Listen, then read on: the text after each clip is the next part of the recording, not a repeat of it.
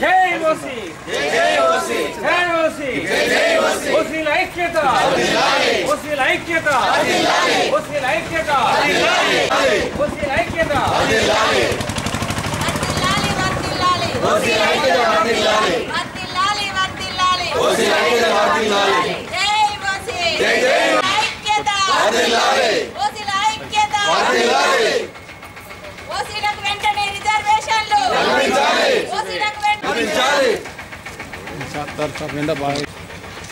OC జై OC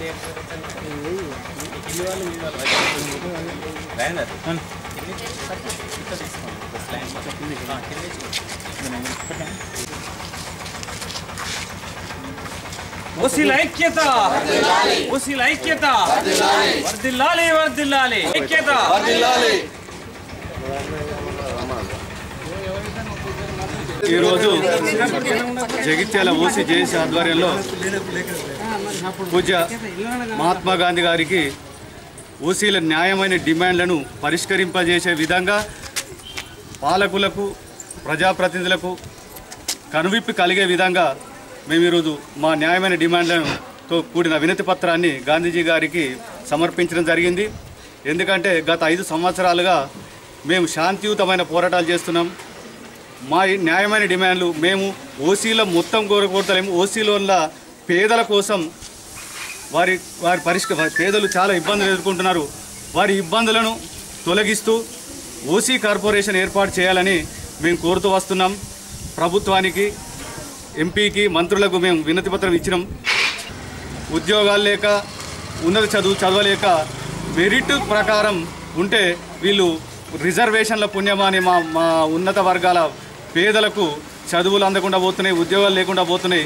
కావున ఆర్థిక పరమైన ఆర్థిక ప్రాతిపదికన రిజర్వేషన్లు ఉన్నట్లయితే వారు కూడా ఉన్నత చదువులు చదువుకునే విధంగా వారికి అందుబాటులోకి వస్తాయి. కావున మేము ఏమంటున్నామంటే ఇక్కడికైనా ప్రభుత్వాలు కళ్ళు తెరవాలని మేము గాంధీజీ గారికి మేము విన్నవించడం జరిగింది. కావున ఈ గాంధీజీ గారికి ఇచ్చిన విధ ఇచ్చినట్ల ఇచ్చిన వారితోనైనా ఇప్పుడు పాలకులకు కనువిప్పు కలగాలని మేము కోరుతా ఉన్నాం. పురాణిపేటలో ఉన్న మహాత్మా గాంధీ గారికి వినతి పత్రం ఇవ్వడం జరిగింది. గత ఐదు సంవత్సరాల నుండి మేము నిరవధిక సమ్మాని మహాత్మా గాంధీ ఎలాగా పోరాటం చేశారో మేము అలా అలాగే మేము ఈరోజు ఓసీలు అందరం కలిసి గత ఐదు సంవత్సరాల నుంచి పోరాటం చేస్తున్నాం. అయినా కానీ మా పోరా మేము చేసే పోరాటం కనీసం చీమ కుట్టినట్టు కూడా మన నాయకులు ఎవరైతే ఉన్నారో ఓసీ నాయకులు ఎమ్మెల్యేలు ఉన్నారు ఎంపీలు ఉన్నారు మంత్రులు ఉన్నారు ముఖ్యమంత్రి కూడా ఓసీ బిడ్డ ఉండి కూడా మా ఓసీలోని పేదలను గుర్తించకపోవడం మేము ఈరోజు ఖండిస్తూ ఈ రాబోయే ఎలక్షన్లో ప్రతి ఓసీ బిడ్డ మేమందరం ఐక్యంగా ఉండి ఈరోజు ఇప్పటి వరకు మేమందరము ఎందుకు పోనీలే మేము చేసిన మా ప్రతిఫలం వస్తుంది అని చెప్పేసి గత ఐదు సంవత్సరాల నుంచి వే ఎదురు చూసాము కానీ మాకు ఎలాంటి న్యాయం చేయలేదు. మాకు కంపల్సరీ రిజర్వేషన్ కల్పించి మాలోని పేదలను మీరు ఆదుకుంటేనే ఈ రాబోయే ఎన్నికలలో మీకు సపోర్ట్ చేస్తాం. లేదంటే ఓటపై నోటాతో మేము తగు గుణపాఠం చేసి మా ఓసీ ప్రతి బిడ్డ ఇప్పటికైనా మీ ఓసీలందరికీ చెప్తున్నా నేను ప్రతి ఒక్క ఓసీ బిడ్డ మీరు నిద్ర లేవాలి. నిద్ర లేస్తేనే మన సత్తా ఏందో చూపెడదాం. ప్రతి ఒక్క మహిళ అక్కలారా అన్నలారా తమ్ముళ్ళారా మీకు చేతులెత్తి నమస్కారం చేసి చెప్తున్నా. ఈ రోజు నుంచి మనందరం ఐక్యం ఉండి పోరాటం చేస్తేనే మనం ఒక్కటైతేనే ఈ దేశ జనాభా ఏంటి? మన మన సత్తా ఏంది ఓసీల సత్తా ఏంది అనేది చాటాలంటే మనందరం ఐక్యంగా ఉండాలి.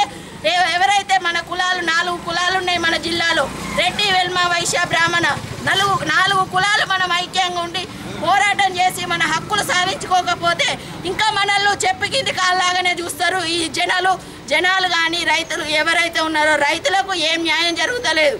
హైదరాబాద్ మీటింగ్లో మీరు ఏం చెప్పారు? కంపల్సరీ ఓసీల కార్పొరేషన్ ఇస్తామన్నారు.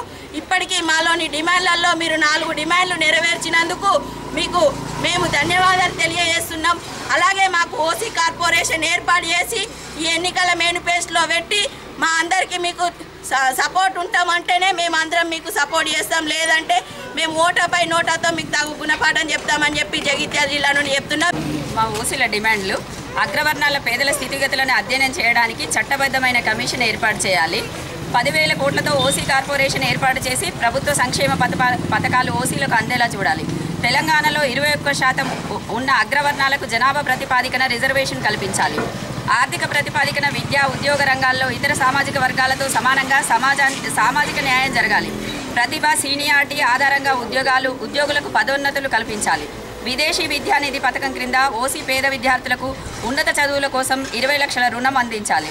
గురుకుల మోడల్ పాఠశాలలు సంక్షేమ వసతి గృహాల్లో ఓసీ పేద విద్యార్థులకు ప్రవేశాలు కల్పించాలి. అట్రాసిటీ చట్టాన్ని అన్ని కులాలకు వర్తింపజేయాలి. టెట్ అర్హత మార్కులు తగ్గించాలి. గ్రామీణ ప్రాంతాల్లో పురాతన దేవాలయాల్లో బ్రాహ్మణులకు ధూపదీప నైవేద్యం పథకంలో చేర్చి వారికి అవకాశాలు కల్పించాలి. వైశ్యులు మార్వాడీలకు వ్యాపారం చేసుకునేందుకు గాను రైతులకు వ్యవసాయ పెట్టుబడులకు గాను ప్రభుత్వ రుణ సహాయం చేయాలి.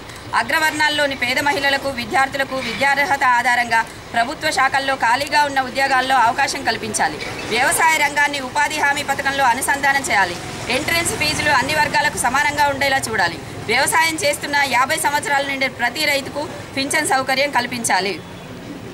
ఇట్లు ఎన్ఎం కిషన్ పై డిమాండ్లు ప్ర- పరిష్కరించే విధంగా ప్రభుత్వాల మనసు మార్చి అగ్రవర్ణాల్లోని పేదల పట్ల సద్బుద్ధితో సంక్షేమ కార్యక్రమాలు నిర్వహించేలా వారి మనస్సులు మార్చాల్సిందిగా మహాత్మా మీకు వినతి ద్వారా తెలియజేస్తున్నాము.